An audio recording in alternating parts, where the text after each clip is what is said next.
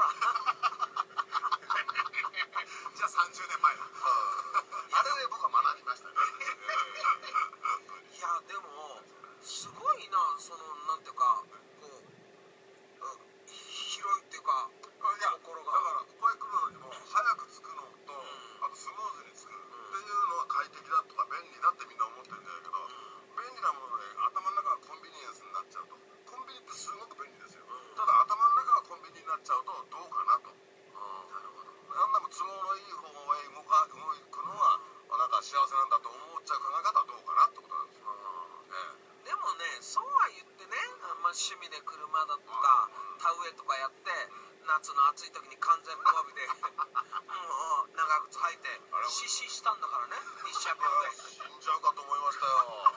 あの時の水は欲しかっただろう。水は欲しくてその後水飲んだけど間に合ってないじゃないですか。こうやってね。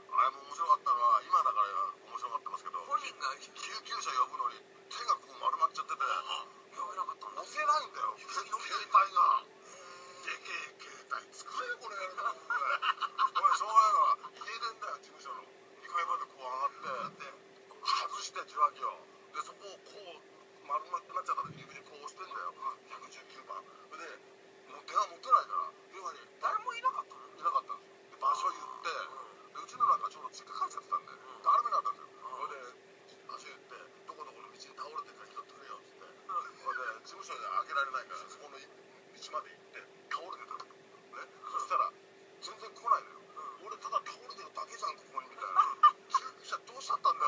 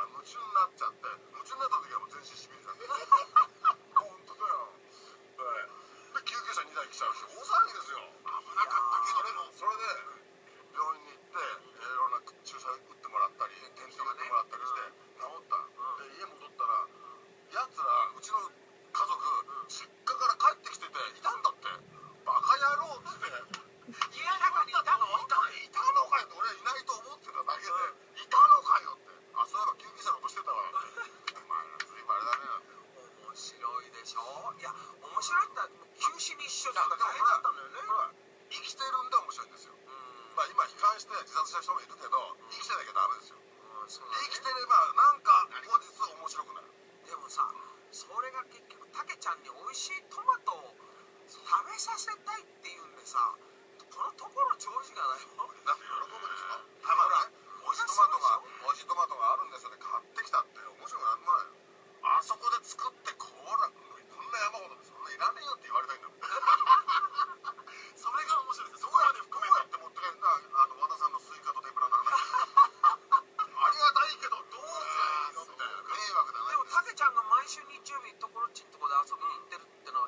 まにそうたまに今今はたまになりましたけどちょっと前は5年ぐらい毎週来てましたね。そうなってね。ほっとするんだって。わ、かりますね。でタケちゃんのために駐車場も別に作ったんでしょ？違いますよ。